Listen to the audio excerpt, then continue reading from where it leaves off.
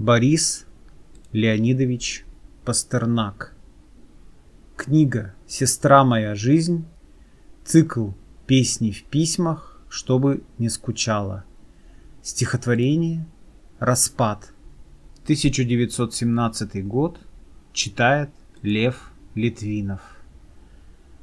Вдруг стало видимо далеко, во все концы света. Гоголь. Эпиграф. Куда часы нам затесать? Как скоротать тебя, распад? По волжьем мира чудеса Взялись, бушуют и не спят.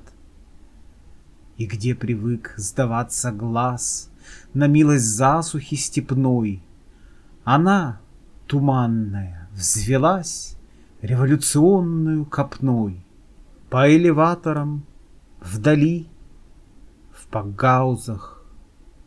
Очумив крысят, пылают балки и кули, И кровли гаснут и росят.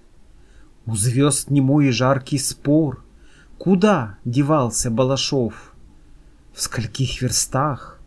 И где хопер? И воздух степи всполошен. Он чует, он впивает дух солдатских бунтов и зорниц. Он замер, обращаясь слух. Ложится, слышит, обернись. Там гул, не лечь, не прикорнуть. По площадям летает труд.